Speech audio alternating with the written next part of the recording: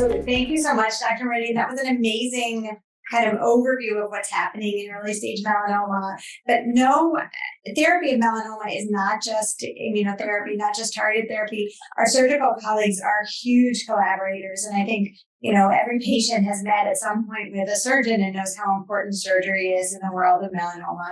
So we're going to transition now and talk a little about surgery for melanoma. And I have the honor of introducing Dr. Sonia Sonia Cohen, who is from the Mass General Hospital as well, and um, works there in both the melanoma and sarcoma departments. Um, did her training at Johns Hopkins, MIT, uh, surgical training at MGH, as well as at Memorial Sloan Kettering. And also, in addition to doing surgery for melanoma and sarcoma also has research interests in the genetics behind uh, many of these cancers and developing new therapies for them. And so, with that, I will hand it over to Dr. Cohen. Yeah, thank you. Hi, good morning. Um, I'm really happy to be here. Um, excited to share kind of how we think about surgery with you, um, and thankful for being invited. Um, I don't have any disclosures. Um, I wanted to start with why it's such an exciting time to be a surgeon taking care of patients with melanoma. I think um, historically, uh, you know, surgery was one of the only options we had for patients with all kinds of cancers, and often surgery wasn't successful. Um, and that's really because of the biology of the tumors we were taking care of. But now, you know, this is a time where I get to take care of patients and use surgery as just one of the tools to really help improve outcomes uh, with the goal of getting our patients through all their treatment, minimizing the risks and getting the best outcomes we possibly can, um, so that people have a, a long uh, life with good quality of life. And that's really our goal. So let me see if I how do I, should I, do you want me to leave this or, or? No. Okay, all right, no problem. Um, so the way I think about these are a couple, I just want to outline a few things about how we think about using surgery for melanoma. So one of the questions is why we use surgery to treat melanoma. And really there are three things that we think about. One is local control. So whether that's the primary tumor on the skin or you know other parts of the body where it arises, or whether that's um, a metastatic uh, tumor, um, we want to use surgery to help control that tumor where it is um, to prevent it from coming back. And if someone's having symptoms, we can use surgery to help with that. Um, a big part of what I do actually is uh, contribute to the staging of our patients. So right now, with all the data that Dr. Mooradian talked about, um, the most important thing I think I'm contributing to our patients is figuring out, you know, like you saw, 90% of patients come in with a tumor that, you know, is most likely not going to come back. But we're really trying to find those 10% of patients where, you know, we can use other tools to intervene and help improve outcomes. Um, and I'll talk a lot more about that. Um, and then thinking about pathologic response when we're using surgery in combination with these neoadjuvant and adjuvant therapies uh, that you just heard about, um, that's really somewhere where I can contribute by um, removing the tumor at some point during the treatment to help us understand how we should give our entire overview of the patient's uh, uh, treatment plan. So then um, I have to think about which surgery when, um, and most of my slides will be um, reviewing that, um, but thinking about wide local excisions, the sentinel lymph node biopsy versus removing all the lymph nodes, the index node that we use uh, along with our adjuvant uh, therapies, metastectomy, which is when um, a patient might have disease that's pretty well under control, even though they might have metastases, and maybe there are one or two tumors that I can help by removing to um, make it so that uh, they have less burden of disease. Um, and finally, something I won't really talk about, but I did want to mention, we, we do have other options for patients that aren't responding to our standard treatments, such as perfusing um, a limb with chemotherapy to try and help with the response to treatment. And there is some active research going on on combining this kind of old technique with new treatments we have, such as immunotherapy, to see if we can improve outcomes. All right, and then finally, how do we, you know, a lot of what I'm going to show you today is the data that guides how I actually do the surgery. So, like, what margins do I, I use, and how do I approach a local problem versus a systemic problem?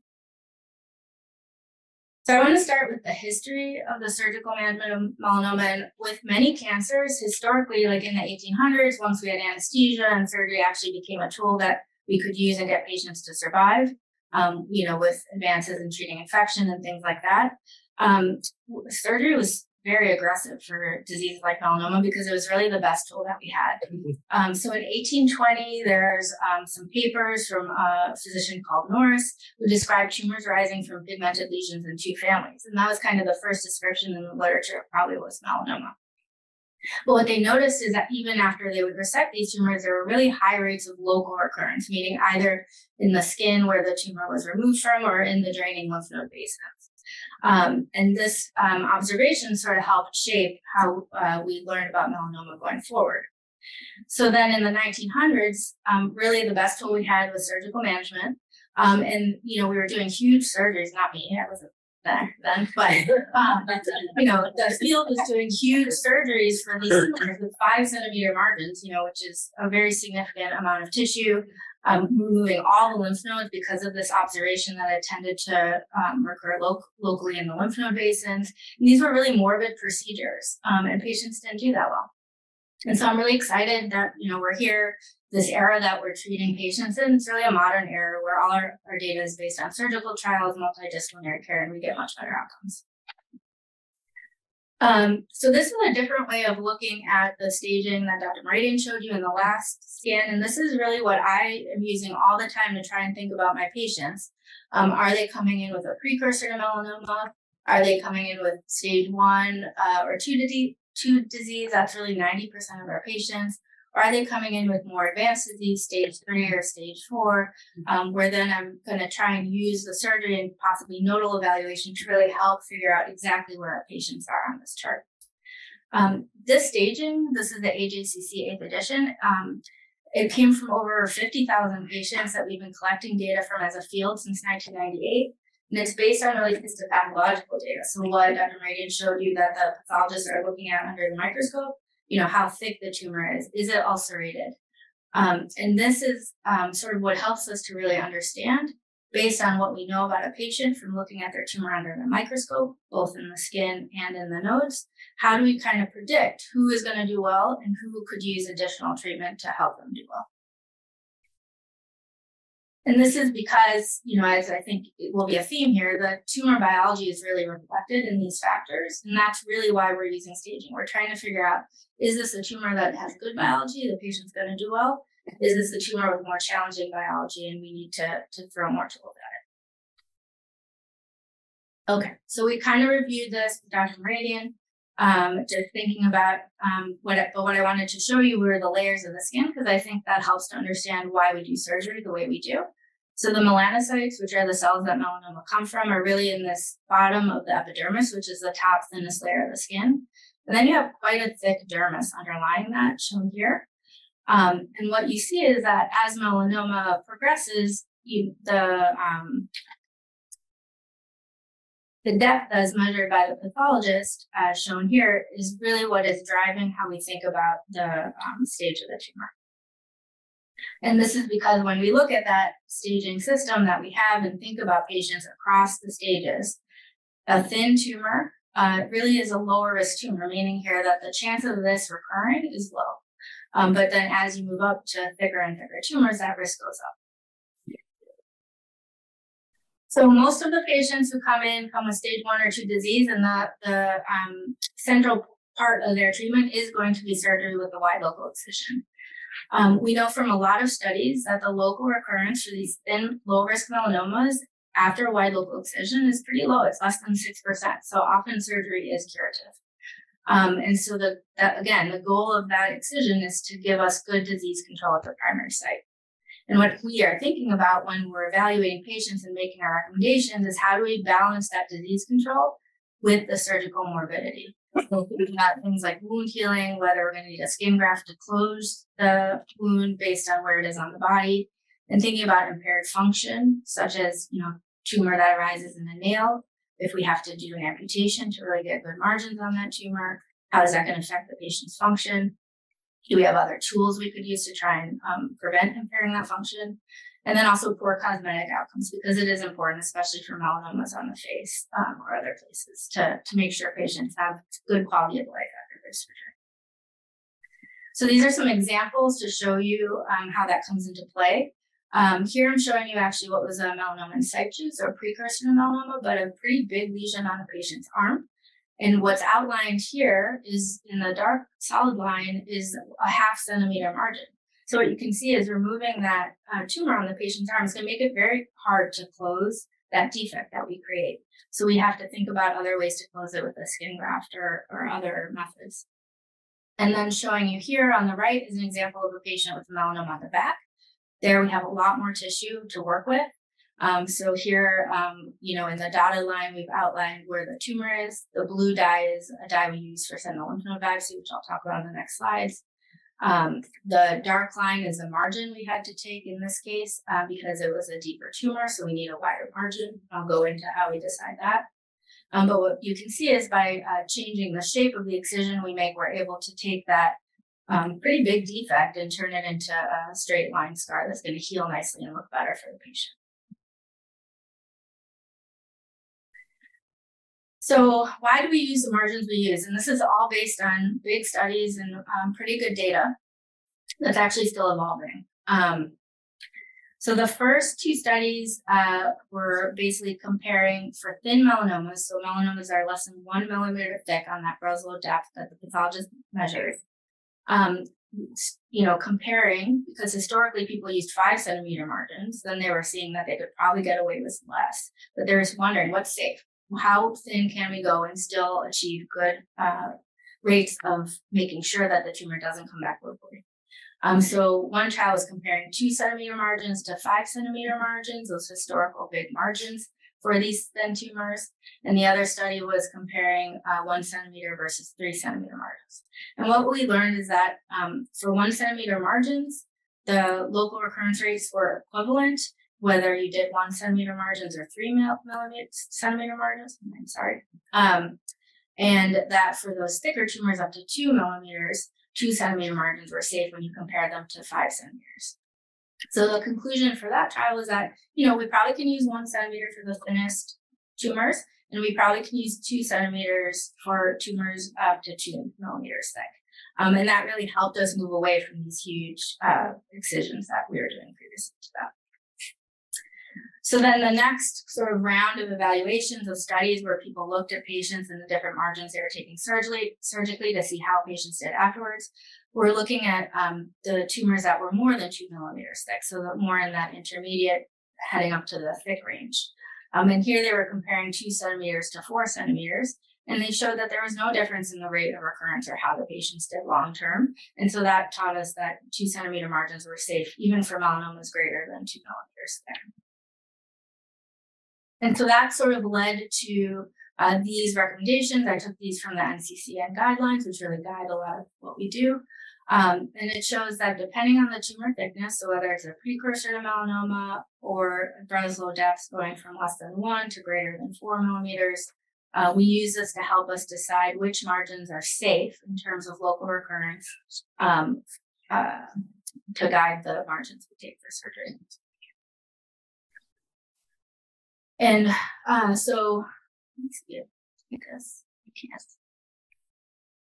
Um, so I'll just tell you what it says below where you can't see, but you know, kind of where the action is happening right now for this is two two centimeter margins is still um, can be pretty morbid, especially if we're talking about something on the face or someone's hand or foot, where it really changes the amount of surgery and the amount of recovery time it takes.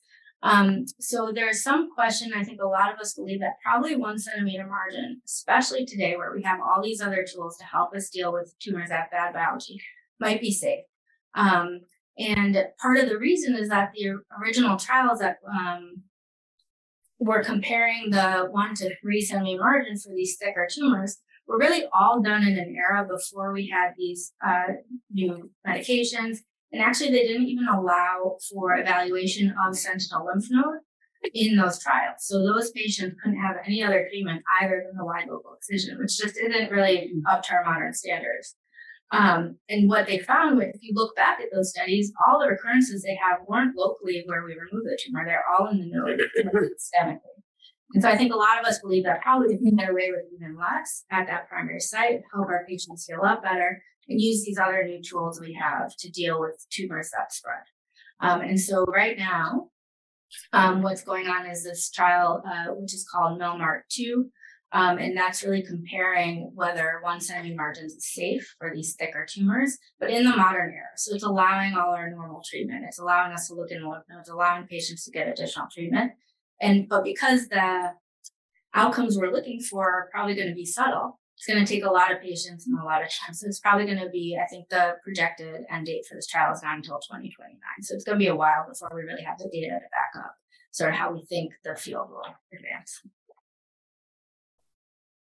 Okay, so moving on to lymph node surgery, I wanted to talk about why we um, think about lymph nodes, and Dr. Mooradian introduced this in her talk as well. But if you look at that um, schematic of the skin and where the tumor starts, where the melanocytes are, and then the dermis and the subcutaneous uh, fat underneath, what you can see is that the lymphatics actually extend into the dermis.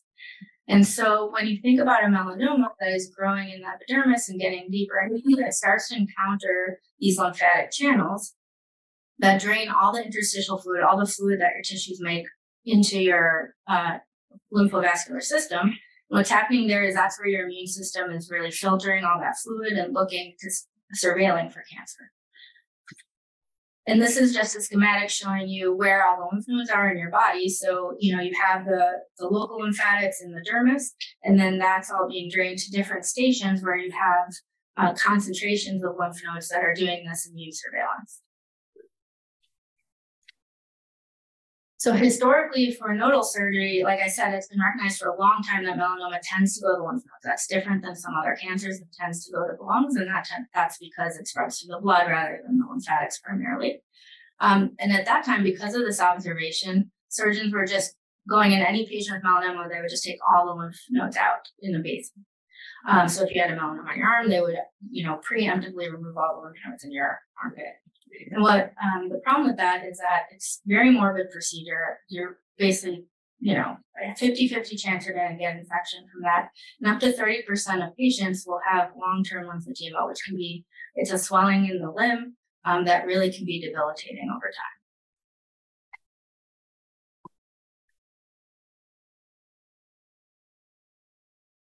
Um, so people were interested in improving outcomes for patients. Um, and Dr. Balch um, you know, uh, probably like in the 90s, early 2000s, demonstrated that really when you looked at the specimens, when people removed all the lymph nodes for a patient with melanoma, let's say from the armpit, um, and looked and saw how many of the lymph nodes that they were actually removing actually had melanoma in them, it was only 20%.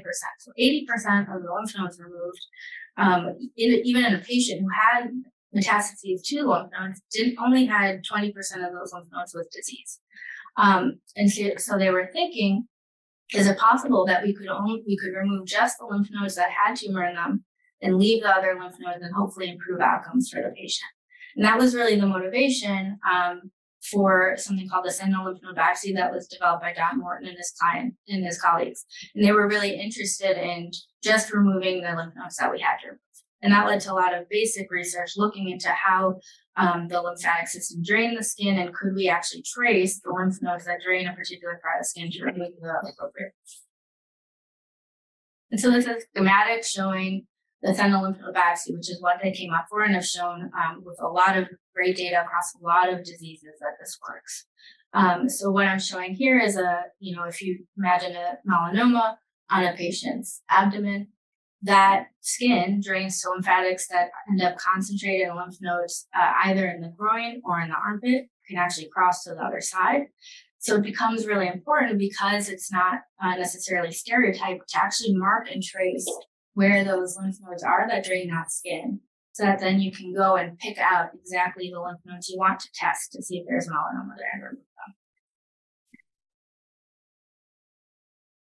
and this is, so that's a very nice picture showing ideally how it looked. This is actually the kind of information we get. Uh, this is showing a patient um, where they, you can see this big blob of injection that's um, a radioactive nucleotide that they're injecting into the skin. And then it gets taken up by lymphatics, mimicking the same way a cancer cell would travel if it was going to travel. And it shows which lymph nodes it's concentrated in. Um, but we have a little probe that we use in the operating room, and that helps us really uh, figure out which lymph nodes and which basin we need to remove. And then it, um, historically, we used to use that blue dye that I showed you before, but that Uh, we don't use that as often anymore. We might use it in tricky, in tricky cases. Okay, so then we started to move into an era where, okay, we know we can use this tool, the sentinel lymph node biopsy, to identify which lymph nodes uh, drain the skin and might have cancer in them and remove those preferentially. Um, and initially, the way this was used was that you would do the sentinel lymph node biopsy, and then you would immediately remove all the lymph nodes that were in um, that basin if the patient showed any evidence of metastatic melanoma in. And so initially when this was being developed, the question was, is, is it safe? Can we do this? Does it actually help? Um, in this uh, trial, uh, the MSLT1 trial, um, this was really looking at, you know, you had you did your wide excision, and then you could either watch the patient or you could do this lymph node surgery, the sentinel lymph node biopsy, and then the complete lymph node dissection. Did this help? Um, and so most patients we learned had a negative sentinel lymph node biopsy, and that's because you know most patients just have disease limited to stage one disease limited to the skin. Even in patients who had a positive sentinel lymph node biopsy, again, only 80% of patients had other lymph nodes when you remove the rest of the lymph nodes that had melanoma. So for 20% of the patients, it was potentially useful to remove that whole basin, but for 80%, we were probably doing too much surgery and just removing the sentinel nodes was enough. Um, and importantly, what we learned is that doing the sentinel lymph node biopsy, followed by the complete dissection, didn't necessarily improve survival rate. Um, but it did give us a lot more information about that patient and what their risk was of the melanoma coming back. So that was kind of our first clue that doing the surgery didn't necessarily change the outcomes for the patients, but it did help us predict how that patient was going to do and help us treat them appropriately. So then the next phase of the trial, MSLT2, came up, and that um, was really designed to ask that question. So, does doing that big lymph node dissection in patients with a positive sentinel biopsy improve outcome. Um, and the way this study was done is that you either got your sentinel lymph node biopsy and then we watched you really carefully, or you got your sentinel lymph node biopsy and you went ahead and got that big, bigger surgery to remove all lymph nodes. And what we learned from that study is that actually it didn't improve survival. So patients didn't necessarily survive longer by us doing this bigger, morbid surgery. Um, it did reduce the rates of the tumor coming back in the lymph nodes, but that's kind of makes sense because we've removed the lymph nodes. And what we learned was that, you know, it's probably safe to watch patients and wait for that 20% of patients to have more disease come back and then treat them then rather than preemptively giving everyone with a positive sentinel node the morbidity of the surgery. And here again, it's blocked a little, but what I'm showing you is that, you know, this study again showed that if you do a complete lymph node dissection up to 25% of patients in that study had clinically significant lymphedema that they had to live with for the rest of their lives. And, you know, 80% of the patients who got that didn't necessarily need it. Um, whereas if we just did the node biopsy, you know, the rates of lymphedema were much lower. Okay, and then the last point I want to make is all this data is even before we had effective therapies like Dr. Murray talked about.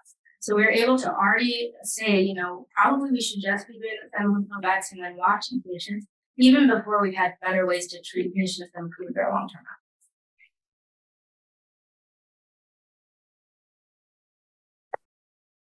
outcomes. Um, and that brings up the last uh, kind of word I wanted to use, which is salvage. So oftentimes as a surgeon, what we're thinking about is, should I use my surgery now? Even though I know it might, you know, cause some long-term complications for my patient, or should I save it and just use it for those patients that I need to salvage if their disease comes back and then I can use surgery? Um, and I think so. We've all sort of moved to this uh, approach where we really use uh, the nodal surgery for the sentinel lymph node vaccine in patients that qualify for it based on how their primary tumor looks under the microscope. And then we save the bigger surgery for the patients where we don't have other options. Okay, so putting the data together, we recommend wide local excision for all individuals with local regional disease. I'm just here again is um, the margins we use based on the data I showed you, and we are trying to move towards uh, what we think are safer and smaller margins. Again, it doesn't matter that much if a tumor is on someone's belly. Most of us have extra skin there that, you know, it's not a big deal. But for other areas like the face or the hands or the feet, it can, make a big difference in how a patient does and really affect their quality of life we have to do a bigger incision. And then the other part of this is what I'm really doing is a lot of surgery to help really give a good stage to my colleagues in medical oncology. So uh, once I've done all my surgery, I've looked at the primary tumor and removed it. I've looked at the lymph nodes. I'm able to say to my colleagues, this is a patient with a tumor that we know from our data probably needs more therapy, and I've passed them on to them. And then finally, we still do use our complete lymphadenectomy or some of our more morbid surgeries in some in some cases. So patients who had a nodal metastases that come in and that's their first presenting system, symptom or during surveillance, it comes up. You know, we might offer them a complete node dissection either with or without uh, adjuvant therapy. Patients with the positive sentinel nodes who can't get further surveillance for some reason, you know, they don't live in a with accessibility to medical care, um, or for some reason they can't have additional treatment, but they really uh, systemic treatment, but they really need it. Those are also patients we might offer additional surgery to.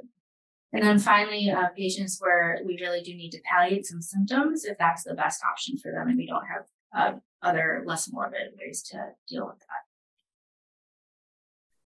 We talked about a little bit um, surgery for melanoma in the context of metastatic disease. So uh, we will remove tumors to help uh, Dr. Mooradian look at the response to adjuvant treatment, figure out how to change their therapy going forward to try and get the best response. Sometimes patients might have disease that's responding overall to systemic therapy, but maybe one tumor that's not responding. So we can remove that um, to help uh, get rid of any tumor that might have evolved some way to evade the therapies that are working for the rest of their disease.